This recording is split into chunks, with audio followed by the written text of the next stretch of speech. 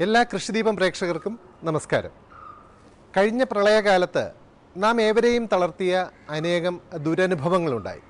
കാർഷിക മേഖലയിലും സ്ഥിതി വിഭിന്നമായിരുന്നില്ല. പെരുമഴ പെയ്യുമ്പോഴും മണ്ണിലായിരുന്നില്ല കൃഷി ചിലരുടെ. അവർ ടെറസിന് മുകളിലാണ് അവരുടെ കാർഷിക സാമ്രാജ്യം ഒരുക്കിയത്.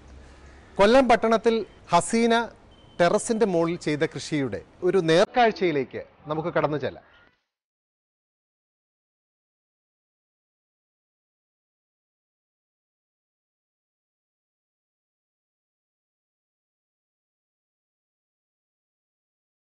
കൊല്ലം നഗരത്തിലെ ഒരു സംഘം വിദ്യാർത്ഥി വിദ്യാർത്ഥിനികൾ. ഇവർ ഒരു അധ്യയന ദിവസത്തിൽ ഒത്തുകൂടിയത് ഈ വീടിന്റെ മുകളിലായിരുന്നു. വിദ്യാർത്ഥികൾക്ക് എന്താണ് ഈ വീട്ടിൽ കാര്യം എന്നാവും നമ്മൾ ചിന്തിക്കുന്നത്. സ്കൂളിലെ ഒരു പ്രോജക്റ്റ് തയ്യാറാക്കണം. നെൽച്ചെടിയെക്കുറിച്ച്. അന്നം നൽകുന്ന മലയാളികളുടെ മുഖ്യ ആഹാരമായ നെൽച്ചെടിയെ അന്വേഷിച്ചിറങ്ങിയതാണിവർ. ആ അന്വേഷണം ഇവരെ കൊണ്ടെത്തിച്ചത് ഈ കൊച്ചു വീടിന്റെ മട്ടുപ്പാവിലാണ്.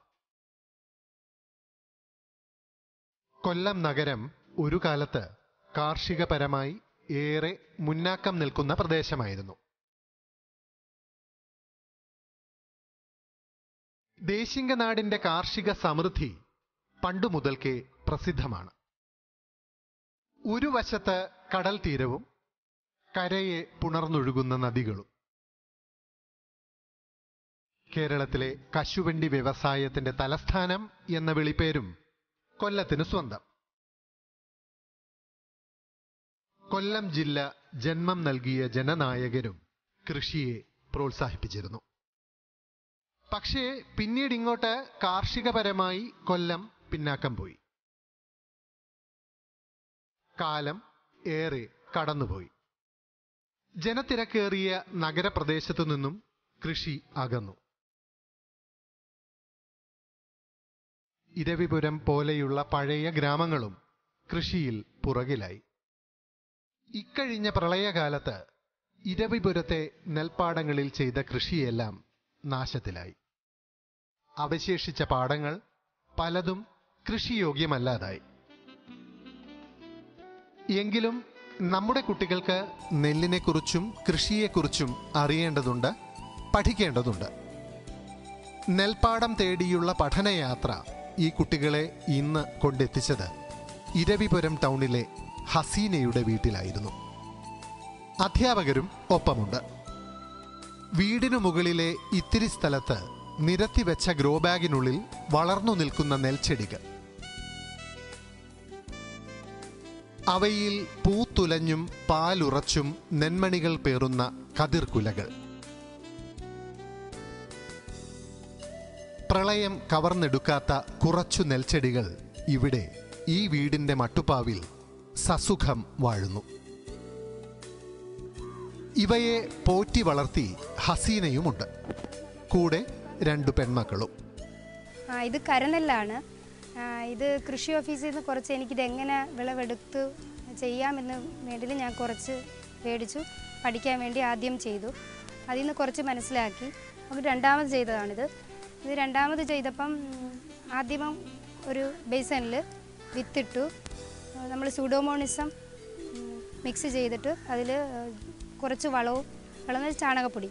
ഇതും മണ്ണും ചകിരിച്ചോറ് കൂടി മിക്സ് ചെയ്ത് നെല്ലും ഇട്ടു. ഇട്ടത് അതിന്റെ കൂടെ തന്നെ ഗ്രോ ബാഗിൽ കുമ്മായിട്ട് പത്ത് ദിവസം വെച്ചു. പത്ത് ദിവസം വെച്ചിട്ട് ഇതിൽ കുട്ടികൾക്കും ഈ പഠനയാത്ര ഏറെ ഇഷ്ടമായി. പുസ്തകത്തിൽ കണ്ടു പരിചയിച്ച നെൽച്ചെടികൾ കുട്ടികൾ അടുത്തു കണ്ടു. ആദ്യമായി നെൽച്ചെടി കാണുന്നവരും ഉണ്ടായിരുന്നു. തൊട്ടുനോക്കിയും നെന്മണികളെ തലോടിയും അന്നം വിളയുന്ന കുഞ്ഞുലക്ഷ്മിയെ അവർ കൗതുകത്തോടെ അടുത്തറിഞ്ഞു. നെൽച്ചെടി മാത്രമല്ല പച്ചക്കറികളും സൗഗന്ധികങ്ങളും ഇവിടെയുണ്ട്. ഹസീനയുടെ കൊച്ചുതോട്ടം ജൈവകൃഷിയുടെ ജീവനുള്ള സാക്ഷ്യം ഇവർക്ക് പകർന്നു. ഞങ്ങളെല്ലാവരും അഗ്രികൾച്ചർ സ്റ്റുഡൻസ് ആണ്. കൃഷി ഒരുപാട് സ്നേഹിക്കുന്നുകൊണ്ടാണ് ഞങ്ങൾ അഗ്രികൾച്ചർ തന്നെ തിരഞ്ഞെടുത്തത്. ഇപ്പോഴത്തെ ഈ സമൂഹത്തിൽ ഒരുപാട് രോഗങ്ങളൊക്കെ ബാധിക്കുന്നുണ്ട്. അപ്പോൾ അതിന്റെ ഏറ്റവും കൂടുതൽ കാരണം എന്ന് പറയുന്നത് രാസവളങ്ങൾ ചേർന്നിട്ടുള്ള ഭക്ഷണം ഉള്ളിൽ ചെന്നിട്ടാണ് ഈ രോഗങ്ങളൊക്കെ ബാധിക്കുന്നത്. അപ്പോൾ അതിന് ഒരേ ഒരു പ്രതിവിധി എന്ന് പറഞ്ഞാൽ നമ്മുടെ ഓർഗാനിക് ഫാമിംഗ് ആണ്. അപ്പോൾ അതിലൂടെ കിട്ടുന്ന ജൈവ പച്ചക്കറികളും ഒക്കെ ചെയ്യുന്നാൽ നമുക്ക് കൂടുതൽ ആരോഗ്യത്തോടെ ഇനിയുള്ള ഇനിയുള്ള ജീവിതം നമുക്ക് നല്ലൊരു മുമ്പോട്ട് നയിക്കണമെങ്കിൽ അത് തന്നെയാണ് ഏറ്റവും വലിയൊരു പ്രതിവിധി. ഹസീന ആന്റിയുടെ കൃഷി രീതി ഞങ്ങൾക്ക് ഇന്നൊരു റോൾ മോഡലായി മാറിയിരിക്കുകയാണ്. ഇങ്ങനെയും കൃഷി ചെയ്യാമെന്ന് ഹസീന ആന്റി പഠിപ്പിച്ചതിന് ആദ്യമേ താങ്ക്സ് പറയുന്നു. ഓർഗാനിക് ഓർഗാനിക് ഫാർമിംഗ് ആണ് ഇവിടെ ഫുള്ളി ചെയ്യുന്നത്. ഇങ്ങനെ ഓർഗാനിക് ഫാർമിങ്ങിലൂടെ നമുക്ക് നല്ലൊരു തലമുറയെ വാർത്തെടുക്കാൻ കഴിയും. പിന്നെ അതിനുപരി മനസ്സ് നിറയും. ഇങ്ങനെ ഈ കൃഷിയിലൂടെ ഇത്രയും ഇത് കാണുമ്പോൾ നമ്മളെ മനസ്സ് നിറയും. പിന്നെ നമ്മളെ വീട്ടിലാന്ന് പിടിച്ചതാണെന്ന് നമുക്ക് എല്ലാവരും മുഖത്ത് നോക്കിയെന്ന് പറയാൻ പറ്റും.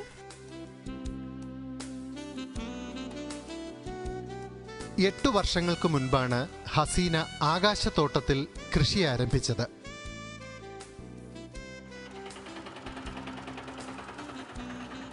ഭർത്താവ് ഗൾഫിൽ ഉദ്യോഗം രണ്ടു മക്കൾ പഠിക്കുന്നു.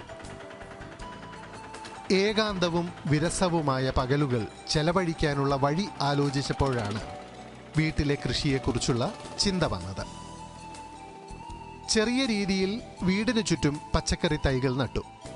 വീടിന് ചേർന്നുള്ള ഇത്തിരി സ്ഥലത്ത് കോഴി വളർത്തൽ നേരത്തെയുണ്ട്.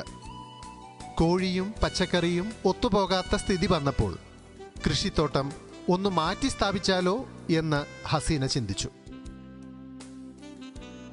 മട്ടുപ്പാവിലെ കൃഷിക്ക് ഇരവിപുരം കൃഷിഭവന്റെ പിന്തുണ കൂടി ലഭിച്ചപ്പോൾ പച്ചക്കറികൾ ടെറസിലേക്ക് താമസം മാറി.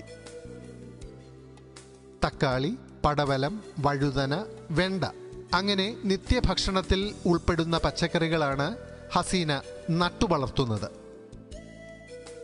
സീസൺ അനുസരിച്ച് ചില ഇനങ്ങൾ വന്നുപോകും. കോളിഫ്ലവറും ക്യാബേജുമൊക്കെ ഇത്തരം സീസണൽ അതിഥികളാണ്. പെൺമക്കൾ രണ്ടുപേരും അമ്മയെ സഹായിക്കാൻ കൂടിയതോടെ കൃഷി ഉഷാറായി. തുടക്കത്തിലെ കുറച്ച് സമയം വെറുതെ ഇരുന്ന് ചിലവിട്ടപ്പോൾ എനിക്കിതിനോട് ഒരു താല്പര്യം തോന്നി.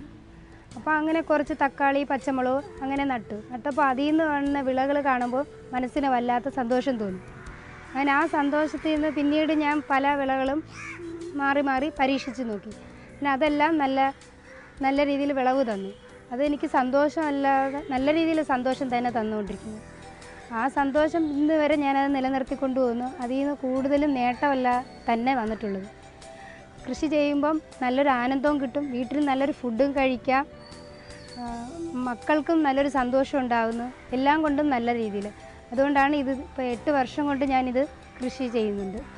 ഞാൻ വെറൈറ്റി കൃഷികൾ ചെയ്ത് അത് ഓരോരുത്തർ വന്ന് കിട്ടുമ്പോൾ നമ്മുടെ നാട്ടിൽ ഇതൊക്കെ വെച്ച് പിടിപ്പിക്കാൻ പറ്റുമോ എന്ന് ചോദിക്കും. അപ്പോൾ ഞാൻ അതിന്റെ കാര്യങ്ങൾ പറഞ്ഞു കൊടുക്കും എങ്ങനെ. ആദ്യമേ ഞാനൊരു വെറൈറ്റി വിത്ത് മേടിച്ചിട്ട് അതെങ്ങനെ നടും എന്നുള്ളത് പരീക്ഷിച്ചു നോക്കും. പിന്നീട് ആ വിത്ത് വീണ്ടും മേടിക്കും. അത് നശിച്ചു പോയാലും വീണ്ടും ആ വിത്ത് മേടിച്ചിട്ട് അതിന് ചെയ്യാവുന്ന ട്രീറ്റ്മെന്റ് എല്ലാം നേരത്തെ എങ്ങനെ വെച്ചാൽ ജൈവമാർഗത്തിൽ വീട്ടിലുള്ള വേസ്റ്റുകൾ വെച്ചിട്ടുണ്ട്. ഇപ്പോൾ ഉള്ളി പച്ചക്കറിയുടെ വേസ്റ്റ് അങ്ങനെയുള്ള പിന്നെ ഫിഷ് വെച്ചുള്ളത് അങ്ങനെ അതിനെയൊക്കെ കീട നിയന്ത്രിച്ച് നിർത്താമെന്നുള്ളൊരു എന്നുള്ളൊരു കണ്ടുപിടിച്ച് അങ്ങനെ ഞാൻ അതിൽ നിന്ന് തന്നെ വെറൈറ്റികൾ വെച്ച് തുടങ്ങി. ജൈവ രീതിയിൽ പച്ചക്കറികൾ പരിപാലിക്കുന്നതിനുള്ള വിവിധ മാർഗങ്ങൾ ഹസീന പഠിച്ചതും കൃഷിഭവനിൽ നിന്നാണ്. കീടങ്ങളെ കൊന്നൊടുക്കുന്നതിനു പകരം അകറ്റി നിർത്തുന്ന വിവിധ മാർഗങ്ങളാണ് ഇവിടെ പരീക്ഷിച്ച് വിജയം കണ്ടത്. വേപ്പെണ്ണ അടങ്ങിയ ജൈവ കീടനാശിനികൾ കീടങ്ങളെ അകറ്റാൻ ഉത്തമം. മട്ടുപ്പാവിൽ അവിടവിടെ തൂക്കിയ കെണികൾ കീടങ്ങളെ ആകർഷിച്ചു കൊടുക്കാനും സഹായിക്കുന്നു. ഇപ്പോൾ പച്ചക്കറികൾ അധികമില്ല. മഴയും പ്രളയവും വരുത്തിയ കെടുതികൾ കടന്ന് പുതിയ കൃഷിക്ക് തയ്യാറെടുക്കുകയാണ് ഹസീനയും മക്കളും. ഇവിടെ ഈ പ്രളയത്തിൽ എന്റെ താഴെ ഫുള്ളും നല്ല വെള്ളം മുട്ടുവരെ വെള്ളമായിരുന്നു. അപ്പോഴെന്റെ കുറച്ച് താഴെ നിൽക്കുന്ന എല്ലാം ഏകദേശം നശിച്ചു. പക്ഷേ മുകളിൽ നിൽക്കുന്ന എല്ലാം നല്ല രീതിയിൽ വിളവോടുകൂടി അത് ഞാൻ ട്രീറ്റ് ചെയ്ത് കറക്റ്റ് ചെയ്യും പക്ഷേ താഴെ നമുക്ക് പറ്റില്ല വെള്ളം നിൽക്കുമ്പോൾ. മുകളിൽ അതില്ല. അപ്പോൾ അത്രയും രീതിയിൽ നല്ല രീതിയിൽ ഞാൻ നോക്കി മുകളിൽ വന്ന് കിട്ടുന്ന സമയമെല്ലാം മഴയില്ലാത്ത സമയം. അപ്പോൾ താഴെ നമ്മൾ ചെയ്ത് കഴിയുമ്പോൾ ഇങ്ങനൊരു പ്രശ്നം ഉണ്ടായതുകൊണ്ട് ഞാൻ മുകളിൽ തന്നെ ചെയ്യുന്നത്. ഈ വെള്ളം നിൽക്കുന്ന സമയത്ത് നമുക്ക് ടെറസ് പ്രയോജനപ്പെടും. എന്നുവെച്ചാൽ കൃഷി ചെയ്യാൻ നമ്മൾ മുകളിൽ ആശ്രയിക്കും. എല്ലാവരും ചോദിക്കും തെന്നത്തില്ലേ വീഴും അങ്ങനെ ശ്രദ്ധിക്കണമെന്ന്. ഞാൻ അതേ ശ്രദ്ധയിൽ ക്ലീൻ ചെയ്ത് ആ രണ്ട് ദിവസത്തെ ഇതിൽ ഞാൻ ആ ടെറസിൽ സമയം കിട്ടും. പ്രളയമാണെങ്കിലും ഫുള്ളും ഇല്ല. ഏതെങ്കിലും ഒരു നേരം മഴ തോരുന്ന സമയം നോക്കി ഞാൻ മുകളിൽ കയറും. മുകളിൽ നോക്കി ആ ചെടിയെ പരിപാലിച്ച് കിട്ടുന്ന സ്ഥലം നല്ല രീതിയിൽ ക്ലീൻ ചെയ്ത് എടുക്കാറുണ്ട്. നെൽകൃഷി കുറയുന്ന കേരളത്തിൽ പുത്തൻ പാഠം പകരുകയാണ് ഹസീനയുടെ ടെറസിലെ പാഠം. വേണമെങ്കിൽ നെല്ലരി പോലും ടെറസിൽ വിളയിക്കാം എന്ന അറിവ്. വെറുമൊരു കാഴ്ചയ്ക്കു വേണ്ടി മാത്രം ഒരുക്കിയ നെൽകൃഷിയിടം അല്ലിത്. കുടുംബത്തിന് കുറച്ചെങ്കിലും അരിക്കുള്ള വക കണ്ടെത്താൻ ഒരുക്കിയ നെൽകൃഷിയിടമാണ്. കുടുംബത്തിലെ അംഗങ്ങൾക്ക് ആവശ്യമുള്ള നെല്ലരി പോലും ടെറസിൽ വിളയിക്കാൻ കഴിയും എന്ന് ഹസീന സാക്ഷ്യപ്പെടുത്തുന്നു. മുപ്പതു ചാക്കിൽ നെന്മണി വിളയിച്ചാൽ മൂന്ന് പേരുള്ള കുടുംബത്തിന് ഒരാഴ്ചയ്ക്കുള്ള നെല്ലരി കുത്തിയെടുക്കാം എന്ന് സ്വന്തം അനുഭവം മുൻനിർത്തി ഈ വീട്ടമ്മ പറയുന്നു. ഓരോ വീടിനും ആവശ്യമുള്ള പച്ചക്കറികൾ അവിടെ തന്നെ ഉൽപ്പാദിപ്പിക്കാം എന്ന് ഹസീന വെറുതെ പറയുകയല്ല. നമുക്ക് കാണിച്ചു തരികയാണ്. കൃഷിയുടെ ക്ഷാമകാലമാണിപ്പോൾ. എന്നാലും ദിവസേന ഈ അമ്മയ്ക്കും മക്കൾക്കും ഭക്ഷണത്തിനുള്ള വക ഈ കുഞ്ഞുതോട്ടം സമ്മാനിക്കുന്നു. പച്ചക്കറികൾ വാങ്ങാനായി വിപണിയിൽ ഇവർ പോകാറില്ല. പകരം തങ്ങളുടെ വീട്ടിൽ നിന്നും വിളവെടുക്കുന്ന ഉൽപ്പന്നങ്ങൾ പാകം ചെയ്യുകയാണ്. അതുകൊണ്ട് തന്നെ ഈ കുടുംബത്തിൽ ആർക്കും അസുഖങ്ങളൊന്നും വന്നിട്ടില്ല എന്ന് ഹസീന ഓർമ്മിക്കുന്നു. കുട്ടികൾ ആശുപത്രിയിൽ പോയ കാലം മറന്നു. ഈ കുഞ്ഞുതോട്ടം ഹസീനയുടെ കുടുംബത്തിന് പകർന്ന ഏറ്റവും വലിയ സുഹൃതം ഇതാണ്. ഞാൻ പച്ചക്കറി കൃഷി ചെയ്തു തുടങ്ങിയപ്പോഴേ ഒരുപാട് ആൾക്കാർ വന്ന് പരിഹസിക്കുന്ന രീതിയിൽ ഇരുപത് രൂപ കൊടുത്താൽ തക്കാളി മേടിക്കാൻ കിട്ടും. ഇതിന്റെ കൂടെ ഒരു ദിവസം മൊത്തവും കിടന്ന് കഷ്ടപ്പെടും. ശാരീരികമായും മാനസികമായിട്ടും സന്തോഷം കിട്ടും എന്നൊക്കെയുള്ള അവർ ചോദിക്കും. പക്ഷേ എനിക്കുണ്ടായിട്ടുണ്ട്. അപ്പോഴവർക്കതൊരു മറുപടി ഞാൻ വെച്ച് പിടിപ്പിച്ചത് കാണിച്ചു കൊടുക്കും. അത് കാണിക്കാൻ വേണ്ടി തന്നെ ഞാൻ ഈ എട്ട് വർഷം കൊണ്ട് നിലനിർത്തിക്കൊണ്ട് പോകുന്നു കൃഷിയെ. എട്ട് വർഷം കൊണ്ട് എന്റെ മക്കൾക്ക് എന്റെ വീട്ടിലെ ഭക്ഷണമാണ് വെജിറ്റബിളാണ് ഞാൻ കൊടുത്തിട്ടുള്ളത്. എന്റെ ഇളയാൾക്ക് എട്ട് വയസ്സായി. ആന്റിബയോട്ടിക് കഴിച്ചിട്ടേ ഇല്ല. നൂറ് ശതമാനം പറയുന്നു ആന്റിബയോട്ടിക് അയാൾ കഴിച്ചിട്ടില്ല. നമ്മുടെ മക്കൾക്ക് ഇപ്പം ഇഞ്ചക്ഷൻ എന്ന് കാണുമ്പം മക്കൾ പേടിക്കുന്നു. എന്റെ ഇളയ മോൾ ഇഞ്ചക്ഷൻ എന്താണെന്ന് ഇതുവരെ അറിഞ്ഞിട്ടില്ല. അവൾ നമ്മൾ പ്രസവിക്കുമ്പം നമ്മൾ കൊടുക്കുന്ന ആ ഇഞ്ചക്ഷൻ അവർക്ക് ഓർമ്മയില്ല.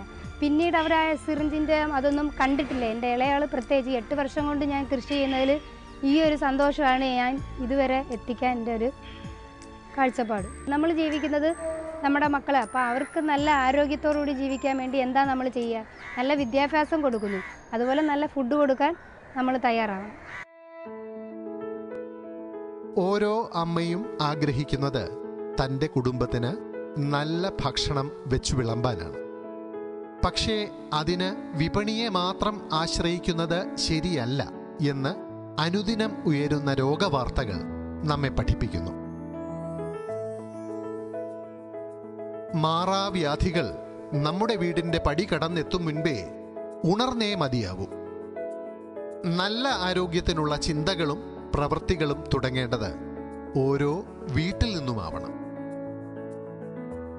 നമ്മുടെ ഭക്ഷണത്തിന് ആവശ്യമുള്ള കാർഷികോൽപ്പന്നങ്ങളുടെ ഒരു പങ്ക് നമ്മൾ തന്നെ ഉൽപ്പാദിപ്പിക്കണം. അതിന് ഏറെ സമയവും അധ്വാനവും ആവശ്യമില്ല. ഈ അറിവാണ് ഹസീനയുടെ കൊച്ചു കൃഷിയിടം നമ്മുടെ മുന്നിൽ സമ്മാനിക്കുന്നത്. മട്ടുപ്പാവിൽ കൃഷി തുടങ്ങുന്നവർക്ക് തന്റെ അറിവും അനുഭവങ്ങളും പകർന്നു നൽകാൻ ഈ വീട്ടമ്മ എന്നും തയ്യാറാണ്. വീട്ടിലെ കൃഷിയെ വീട്ടിലേക്ക് ക്ഷണിക്കാൻ നിങ്ങളും തയ്യാറാകൂ. കൂടുതൽ വിവരങ്ങൾ അറിയാൻ ബന്ധപ്പെടുക.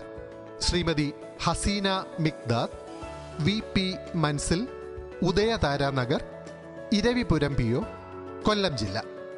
ഫോൺ ഏഴ് പൂജ്യം രണ്ട് അഞ്ച് നാല് നാല് നാല് എട്ട് ആറ് രണ്ട്.